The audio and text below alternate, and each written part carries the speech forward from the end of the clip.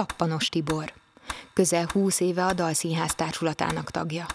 Oratóriumok és koncertek gyakran foglalkoztatott szólistája, de Mozart, Wagner, Verdi és a belkántó szerepekben is gyakorta hallhatjuk őt.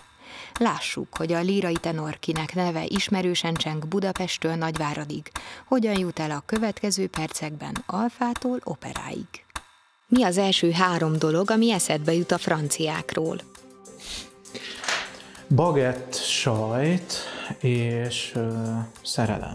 Részt vennél egy világ körüli úton? Na, na, most azonnal. Mi a kedvenc könnyű zenei együttesed? Hmm, Péter Fibori. Milyen hangszered van otthon? Gitár.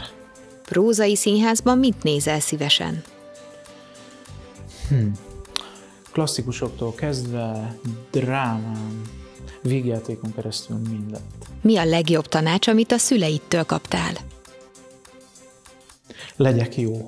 Mi a véleményed a kutyasétáltatásról? Bárcsak lenne kutyám.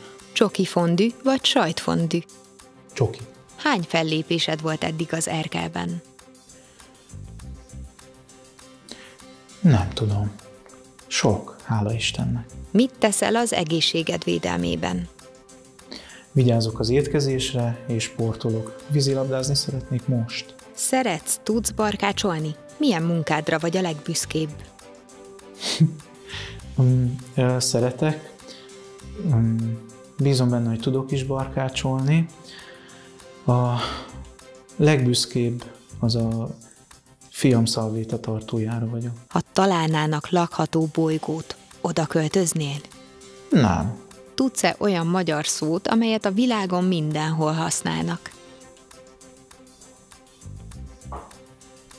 Gulyás. Forgatsz idegen nyelvű folyóiratokat?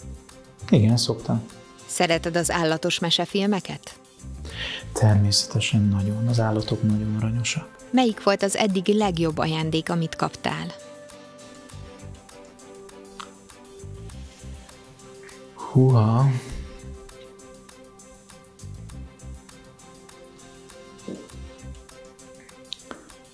Néhány szép sál. Mikor döntötted el, hogy művészettel fogsz foglalkozni?